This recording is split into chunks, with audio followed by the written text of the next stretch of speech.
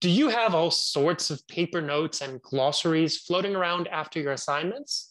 Perhaps you've jotted down a few key terms that you want to keep track of afterwards, or maybe a colleague's given you a photocopy of their glossary.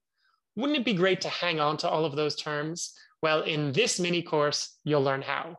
Right, Nora? That's right, Josh. That's why we have put together this mini course. And so, what are you going to learn here?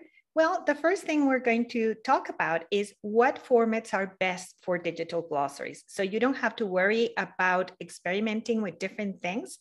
Here you will learn about the best possible formats. Then we will talk about when to digitize paper glossaries, a little discussion that Josh and I have actually had. So you're going to get to see what we think about that. And we will talk about the best practices that you can follow for digitizing glossaries. As a bonus, we have a template to share with you that you can use when you are ready to start putting all of your terminology that you have on paper into a digital tool. So that's going to help you get things started faster.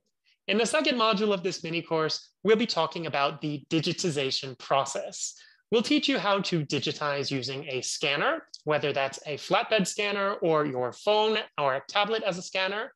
Then we'll talk about how to use OCR, optical character recognition, on those notes that you've got floating around, which ones work best and which ones might not work all that well for that.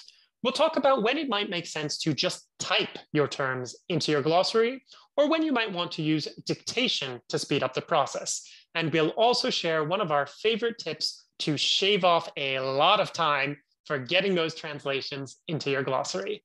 So I hope you're just as excited as we are about this mini course that we have put together just for you. We can't wait to share a lot of tips with you on how to turn those paper glossaries into digital assets.